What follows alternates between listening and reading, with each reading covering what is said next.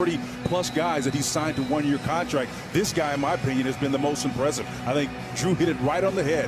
Of all the players, particularly the defensive line, he is the one that stood out. Our first half kickoff presented by Xfinity, proud partner of the Houston Texans.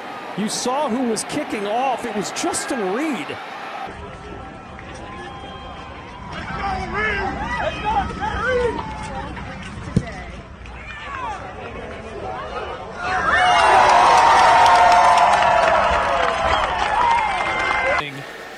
Stepping in.